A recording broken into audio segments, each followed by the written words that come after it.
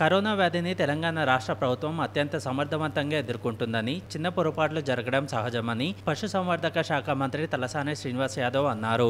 Medchal Gundlapochampally municipality పరిధిలోని కండ్లకే వద్ద జాతీయ రహదారిపై ఏర్పాటు చేసిన హరితారం కార్యక్రమంలో మంత్రి మల్లారెడ్డి సీఎం ఓఎస్డీ ప్రియాంక వర్గీస్తో కలిసి మొక్కలు నాటారు. ఈ సందర్భంగా మంత్రులు మాట్లాడుతూ సీఎం కేసీఆర్ యజ్ఞంలా హరితారం కార్యక్రమం చేపట్టారని అధికారులు ప్రజాప్రతినిధులు కార్యక్రమాన్ని విజయవంతం చేయాలన్నారు. కరోనా విజృంభిస్తున్న తరుణంలో సీఎం కేసీఆర్ ప్రత్యేక సమావేశం ఏర్పాటు చేసి లాక్డౌన్ పై నిర్ణయం తీసుకుంటారన్నారు. కార్యక్రమంలో మేడ్చల్ గుండ్లపోచంపల్లి మున్సిపల్ చైర్పర్సన్లు దీపికారెడ్డి లక్ష్మీరెడ్డి జిల్లా అదనపు కలెక్టర్ జాన్సన్ పాల్గొన్నారు. ఇంతకు ముందు కూడా లాస్ట్ ఇయర్ కూడా పెద్ద ఎత్తున మనకు ఎనభై తొంభై తొంభై లక్షల టార్గెట్ ఉంటే మనం కోటి ఇరవై లక్షలు పెట్టాం. ఈసారి కూడా కోటి ఇరవై లక్షల టార్గెట్ ఉంటే మనం రెండు కోట్ల దాకా పెట్టబోతున్నామని కూడా మనం చేస్తున్నాం. తెలంగాణ రాష్ట్రంలోనే నంబర్ వన్ జిల్లా అంటే మేడ్చల్ జిల్లా. నంబర్ తీసుకుపోయే బాధ్యత మనందరి మీద ఉన్నది. కాబట్టి అధికారులనే చాలా ముందుండాలి. ఇదైనా కానీ మనకు మేడ్చల్ నియోజకవర్గంలో మూడు హైవేలు ఉన్నాయి. మనకు వెంకటేశ్వర ఉప్పల్ దాకా కూడా పెద్ద ఎత్తున అక్కడ కూడా హరితారం పెడుతున్నాం.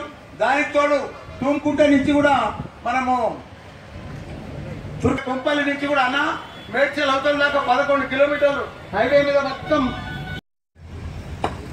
గౌరవ ముఖ్యమంత్రి గారు ఇచ్చినటువంటి పిలుపు మీరు చూసినారు గత ఐదు సంవత్సరాలలో హరితహార కార్యక్రమాన్ని ఏర్పాటు చేయడమే కాకుండా ఈరోజు ఈ మొక్కలు నాటడం చెట్లు పెంచడం మూలాన మరి రాష్ట్రంలో ఈ భారతదేశంలో కూడా ఎవ్వరూ చేయలేనటువంటి ఒక గొప్ప కార్యక్రమాన్ని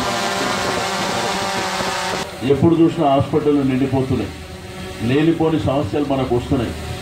ఈ మధ్యకాలంలో కరోనా వైరస్ అనే ఒక మహమ్మారి మన రాష్ట్రానికి దేశానికి ప్రపంచానికి వచ్చింది. అంటే ఈ యొక్క చెట్ల వల్ల మొక్కల వల్ల మనకు ఆక్సిజన్ పెరగడంతో పాటు ఒక ఆహ్లాదకరమైనటువంటి వాతావరణాన్ని మన క్లైమేట్ కూడా. ఈరోజు ప్రపంచంలో మనకున్నటువంటి క్లైమేట్ ఎక్కడ లేదు. రెండవది ఎండలు కూడా తగ్గడానికి అవకాశం ఉంటుంది. వర్షాలు బ్రహ్మాండంగా రావడానికి అవకాశాలు ఉంటుంది. ఈరోజు మీకు అందరికీ తెలుసు గతంలో ప్రభుత్వాలు ఉన్నప్పుడు పాలకులు ఉన్నప్పుడు ఏదో మా ఎమ్మెల్యే మంత్రి గారు అమాస పుణ్యానికి వచ్చిపోయింది అనేటువంటి పరిస్థితులు ఉంటుండే. కానీ మల్లారెడ్డి గారు వచ్చిన తర్వాత రోజు నియోజకవర్గంలో ఆయన మంత్రి అనే విషయాన్ని కూడా మర్చిపోయి రోజు నాకు ఓటేసినటువంటి ప్రజానికానికి మేలు జరగాలనేటువంటి సంకల్పంతో అనేకమైనటువంటి కార్యక్రమాలు ఈ నియోజకవర్గానికి వచ్చినాయి.